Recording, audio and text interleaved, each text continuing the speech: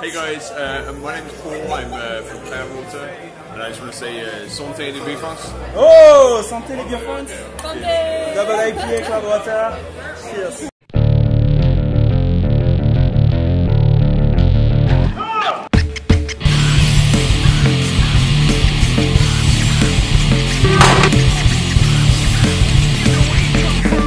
Cloudwater Double IPA nom- nom- numéro 4 et numéro 5.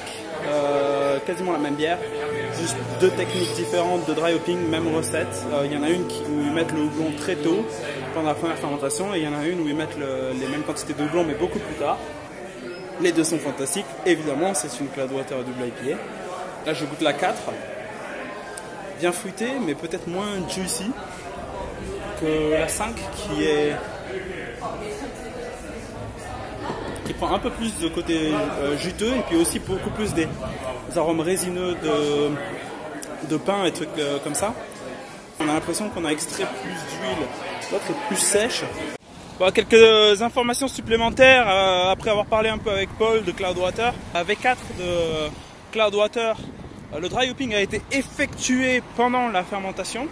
Donc du coup, en fait, en première fermentation, pendant que la levure, donc il y a un contact réel avec la- entre la levure et le houblonnage à froid, tandis que la Cloudwater euh, Double IPA euh, V5 a été réalisée euh, sans contact avec la levure.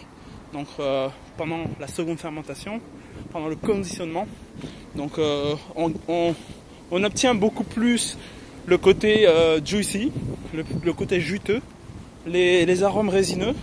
On a l'impression que ça extrait beaucoup plus d'huile essentielle. C'est assez intéressant. Et aussi au niveau de la couleur, ça c'est très impressionnant. On, a, on en a une qui est orange et un peu moins euh, cloudy, nuageuse.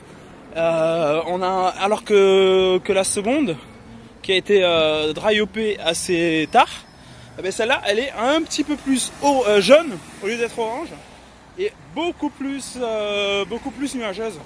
Donc voilà, c'était la dégustation de la Cloudwater number 4 et number 5. J'espère que vous avez bien aimé cette vidéo. N'hésitez pas à vous abonner dans les nuages par ici. Et à bientôt pour une nouvelle dégustation. Ciao les beer friends